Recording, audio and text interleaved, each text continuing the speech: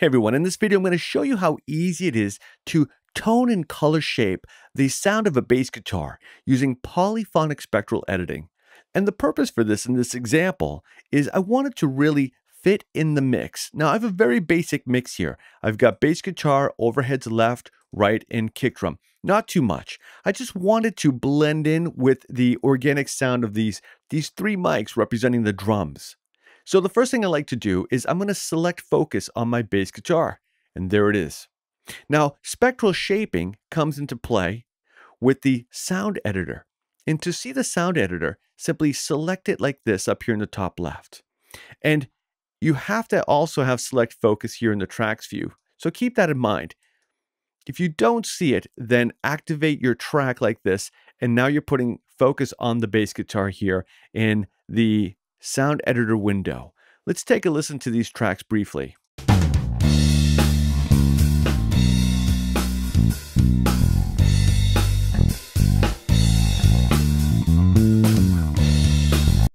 So as you can see, the energy here is representing the harmonic series, okay?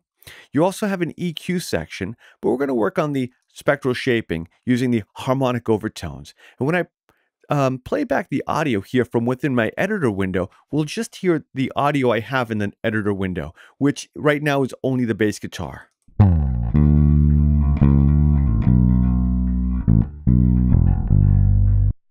Now, I'm going to show you how quickly we can get a more punchy, aggressive, and cut through sound using just a couple of simple techniques that have been working for me.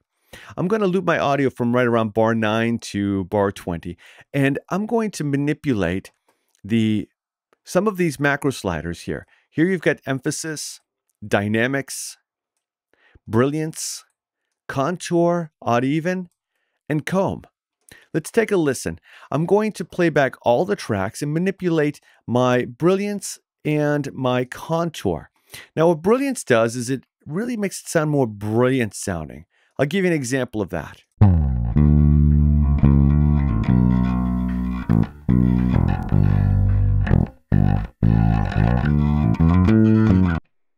Okay. And to reset any of these, I can hold my command key and select it back. Now, it also increased a lot of that noise floor too, so keep that in mind as well. Now, next, we've got my contour. What that does is it exaggerates the pre-existing shape of the harmonic overtone structure. See that? It's, it's exaggerating them. Plus, we can also invert that and get a lot of flexibility in tone shaping with just these, these couple of parameters.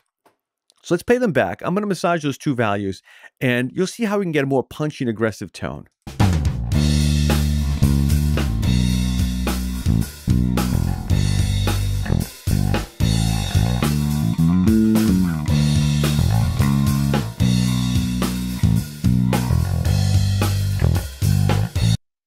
So let's A-B that. Here I'm going to use my bypass in my global bypass in the sound editor to toggle that on and off. I just want to hear the bass guitar and let's do that. Here's with the with the processing on. Here's without. Here's with. But how does it sound in the mix thus far? Let's check it out. Here's first without.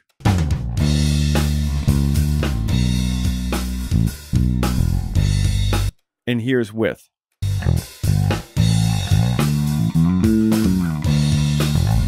Without, with.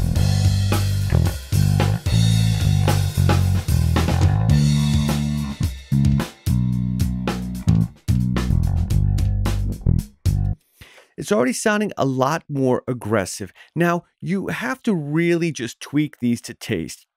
In this process video, I'm just giving you a quick example how you can access some of these macro features here to manipulate the harmonic overtones. It's a lot different than working with an EQ, which is filtering specific frequencies here.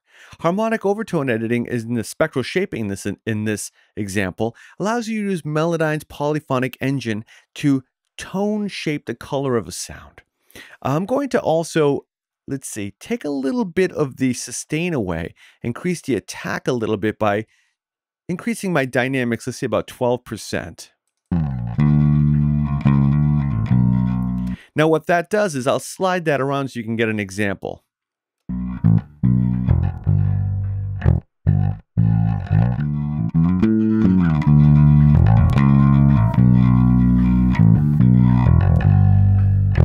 Okay.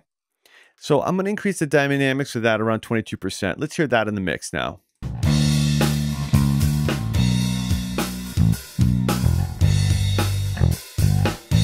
So by making it more transient to the right like I did, I'm just focusing on the attack of the bass guitar and a little bit less on the sustain of the body instrument. Now you can do that either way again to taste if you want. So, so far we used the brilliance, the contour, and the dynamics. And just these three parameters alone can really help you start contouring the shape of that bass guitar sound to really fit in the kind of mix that you're looking for without having to reach for an EQ first. And this is all happening latency free within the plugin window itself or in the standalone version of Melodyne that I'm using here. So let's hear it again bypassed.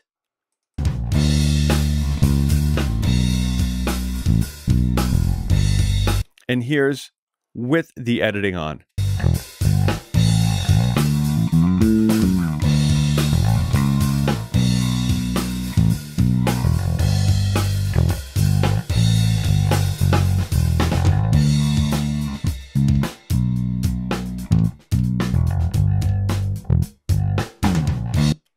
There.